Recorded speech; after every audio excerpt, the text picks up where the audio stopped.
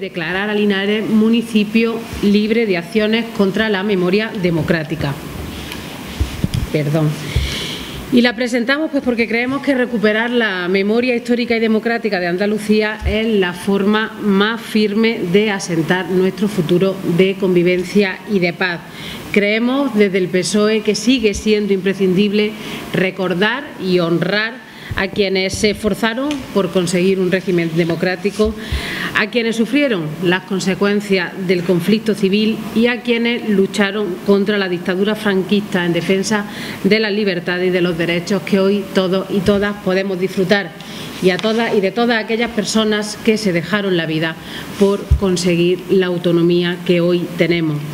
Desde el PSOE sostenemos que honrar y recordar a quienes lucharon por la democracia no se consigue consintiendo actos de conmemoración ni de exaltación o enaltecimiento del golpe militar de 1936 o del franquismo. Y en los últimos meses todavía, desgraciadamente, hemos podido asistir y los medios de comunicación se han hecho eco de actos de esas características en algunos pueblos y en algunos rincones de nuestra comunidad autónoma. Por eso reclamamos que no se pueda celebrar ningún tipo de acto de estas características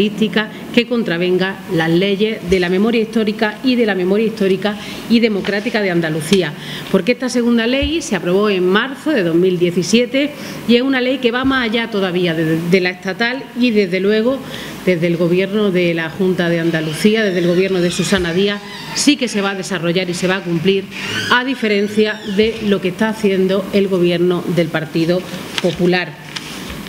Decir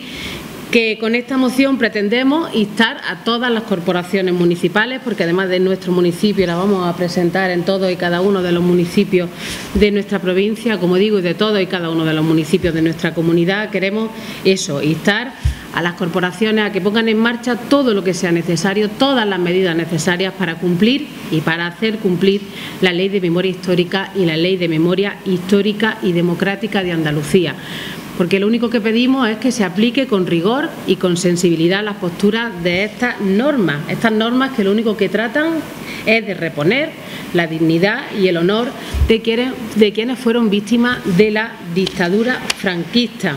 Y nosotros creemos desde el PSOE que sigue siendo importante, sigue siendo importante a día de hoy continuar con esta tarea de recordar y de honrar a quienes se esforzaron por conseguir, vuelvo a repetir, los derechos, las libertades y el Estado democrático del que hoy gozamos. Así que yo creo que esto es hacer pedagogía, es sentar las bases para un futuro mejor y creo que mientras se sigan produciendo cualquier tipo de actos como lo que he dicho de esas características, estas mociones tendrán sentido. Y estas mociones siempre las presentará el PSOE porque el socialismo va indisolublemente unido a libertad y a democracia. Y mientras esa libertad y esa democracia no se cumpla en todo y cada uno de los rincones de nuestra comunidad autónoma y de nuestro país, el Partido Socialista estará ahí para recordarlo.